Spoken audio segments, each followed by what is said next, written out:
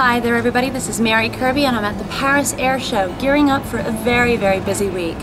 I recently had an opportunity, however, to sit down with Inmarsat. Now, Inmarsat, as you know, provides the L-band satellite aeronautical service that supports in-flight connectivity on aircraft today.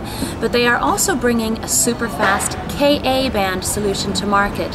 And uh, I spoke with Inmarsat's executives about the timeline for doing that and, and just what we can expect. So if you've been following this story at all, I recommend that you watch this video. Uh, my interview with Lars Ringhurst and David Coiley of Inmarsat.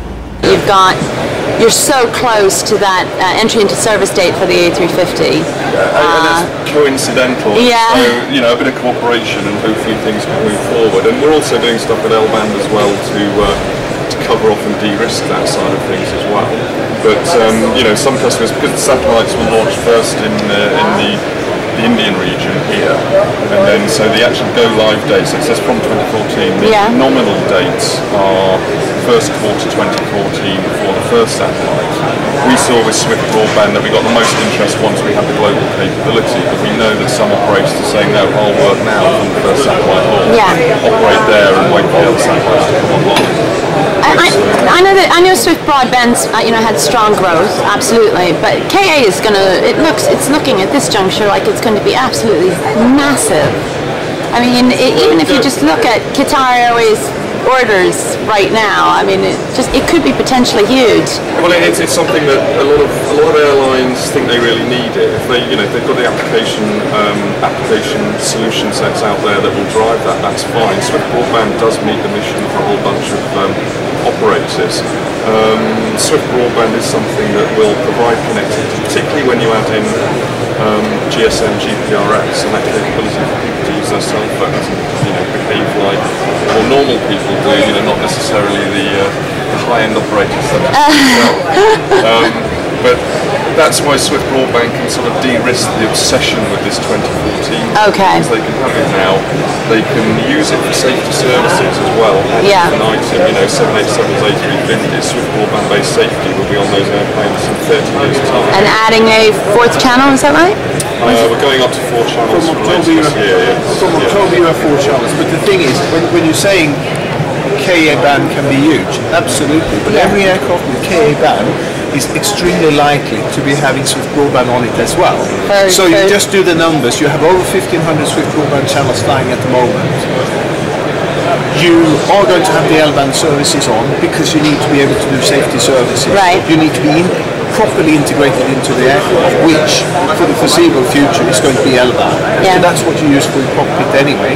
And a lot of people are going to use it for connectivity. So, yeah, there's no question Best of about both it. worlds for you guys. Uh, and the Inmarsat 6 satellites Yeah. are going to be L-band as well. So we Oh, really? yeah, yeah, Okay. Absolutely. It's not a question of going from L-band to Ka-band. This is something in parallel, and that ties in nicely with Boeing's and Airbus strategy. Yeah. Because if, if you ask them, I don't think they made any official announcements, but if you ask them, well, SwiftBroadband will be standard on the aircraft, and then you can put something else on the back of the aircraft, whatever that might be. It'll be something ARINC 791 most likely, because you only want to punch holes in the aircraft once, Yeah. or have the enforcement so you can put something over there.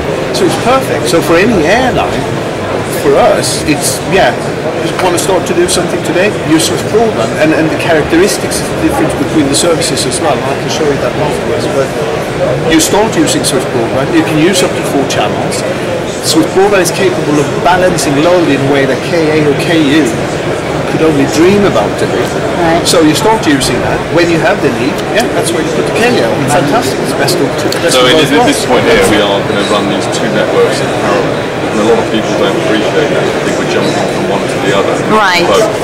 Right. Uh, okay. So I mean, yeah, that's clear. That's clear. You guys are. Um, I mean, will there be? I I mean, I don't know. Will there be kind of a hybrid kind of solution, sort of that you? Or no? Well, yeah, no. more for the maritime side. and Okay, special missions okay. Where typically yeah, Right, right, right. all above clouds and all the rest of it.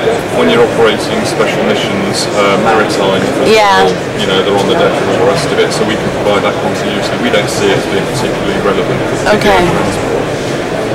But that is one of the reasons why safety services is likely to use L-band going forward because it will work whatever the weather, Right. is like. I Right, mean, right, right. Air France 447, if Right. that was KU or KA band, we wouldn't have got any messages off the aircraft. Right. And then, yeah, of course it was. Right. That's what it's all about.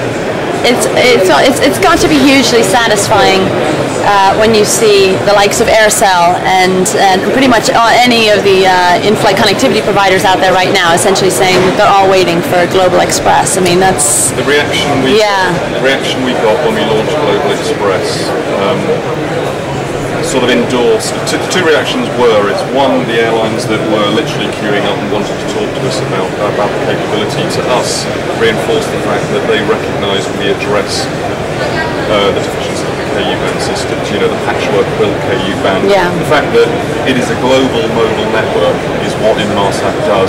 It's got mobility management to handle um, spot beam handovers. It's designed as a global network. It's designed for mobile operations from day one. And then the context, the other one is, you know, the core markets we talk about. If you look at these are all the different ways um, ways in which the service may be used on the ground, on the oceans, and in air. And then we've got this high capacity overlay capability as well.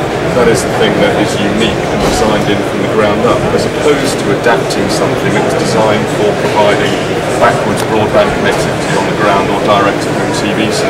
Right. This right. is fit for purpose because it's designed for that purpose, not adapting and, and reinventing something. and not having to stitch anything together, having it all. Yeah, great.